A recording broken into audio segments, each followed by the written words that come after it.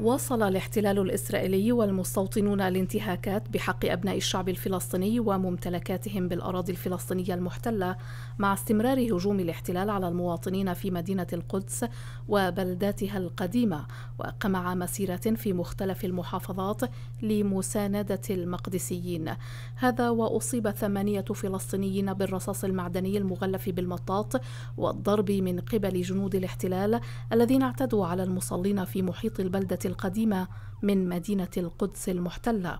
كما اعتدى الاحتلال وفرق الخيالة ومركبات المياه العادمة على عدد من الشبان بالدفع والضرب خلال محاولتها تفريقهم في شارع صلاح الدين وباب الزاهرة وباب العمود ومحيطه وألقت القنابل الصوتية لإبعادهم. وفي الطور أصيب ثلاثة فلسطينيين بالرصاص المغلف بالمطاط والعشرات بالاختناق بالغاز المسيل للدموع في مواجهات اندلعت مع قوات الاحتلال الإسرائيلي وفي العسوية. اندلعت مواجهات بين الشبان وقوات الاحتلال الإسرائيلي.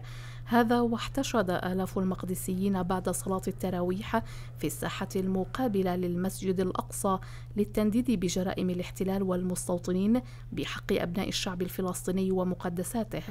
وأدى نحو 75 ألف مصل صلاتي العشاء والتراويح في رحاب المسجد المبارك.